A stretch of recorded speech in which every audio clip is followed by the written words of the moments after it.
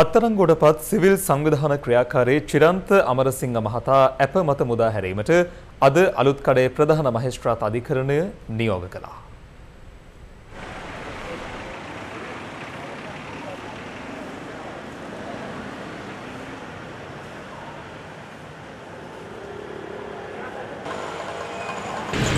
රාජ්‍ය බුද්ධ්‍යංශය විසින් ලබා දෙන ලද ලේඛනයක් පිළිබඳව තොරතුරු දැනගැනීමේ පනත යටතේ ඉල්ලුම් පත්‍රයක් ඉදිරිපත් කරන්න යන අවස්ථාවේදී තමයි ඔහු අත්අඩංගුවට ගනු ලැබුවේ.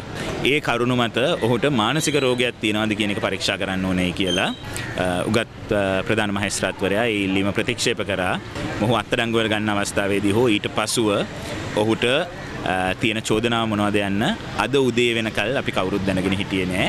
ඒක පැහැදිලි කර දීමක් කරන්න පොලිසියට හැකියාවක් ඇතිුණෙත් නැහැ.